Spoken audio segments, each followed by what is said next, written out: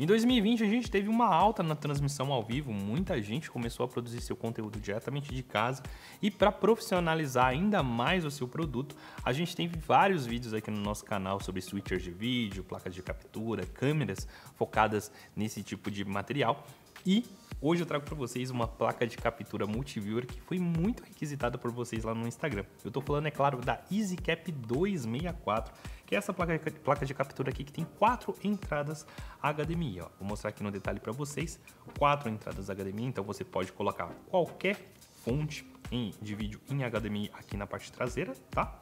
Ela tem uma saída HDMI, então você pode puxar para um monitor de referência ou colocar um splitter, né, para que você puxe para um monitor de referência e também um switcher de vídeo, um, uma entrada para conector de energia, mas você pode também alimentar essa placa de captura pela entrada de porta USB 3.0. A gente deixou essa placa de captura sendo alimentada pelo USB 3.0 por mais ou menos umas 5 horas com as quatro filmadoras conectadas a ela e ela funcionou tranquilamente, tá?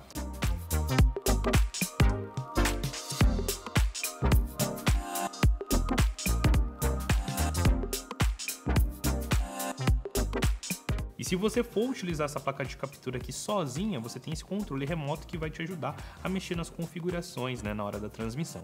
Ele tem três sessões, como vocês podem ver. Aqui vai ser como vai ser exibida né, essas quatro câmeras na tela. Aqui qual câmera você quer em evidência e na última sessão você tem o áudio, né? Qual vai ser o áudio principal. E para mostrar para vocês como utilizar melhor essa placa de captura, eu trouxe quatro filmadoras HF R800 da Canon, tá? E eu vou mostrar para vocês como utilizar essa placa tanto sozinha como também com um switcher de vídeo.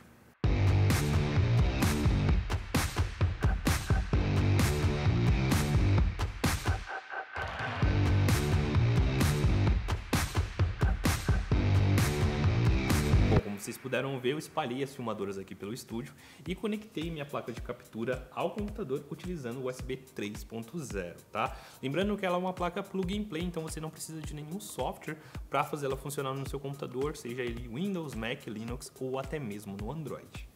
Bora lá então utilizar essa placa de captura no OBS, porque é o software que a gente mais utiliza aqui para fazer os testes, né? E vocês podem ver, ó, se eu clicar na primeira opção aqui no meu controle remoto, vocês podem ver que ele tem três sessões, né? A primeira é como as imagens vão ser exibidas na tela, a segunda vai ser qual das imagens você quer na tela e na última sessão o áudio. Então, primeira sessão, posso deixar assim, estilo multiviewer, né? Que aí eu tenho a exibição de, das quatro câmeras, né? Simultaneamente. Se eu clicar na segunda opção aqui no controle, ele me dá as quatro câmeras, né? E aí eu posso transitar aqui, rotacionar as câmeras nesse multiviewer aqui também com quatro câmeras. Terceira opção é o PIP, né? O PIP sempre vai ser a câmera 1 e a câmera 2.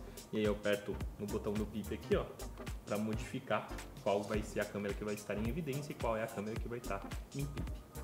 Na última opção vai ser a câmera única. Então aí depois eu posso escolher um, dois, três ou quatro, né? Aqui na seção de baixo, que é essa seção azul aqui, tá? Que vai, você pode escolher qual câmera você quer ao ar. Na parte de baixo, finalizando, né? É o áudio principal. Qual áudio que eu quero que seja o áudio principal da câmera 1, 2, 3 ou 4. Então essa aqui foi, a, foi como utilizar essa placa de captura sozinha, tá? Sem o switcher de vídeo, sem o splitter. E agora eu já vou mostrar para vocês como utilizar essa placa de captura aqui como um splitter, né? Quando você está utilizando essa placa juntamente de um switcher de vídeo. Primeiro eu peguei essa placa de captura e usei um splitter para dividir o sinal de saída HDMI para um monitor que eu vou usar de referência para ver cada uma das câmeras.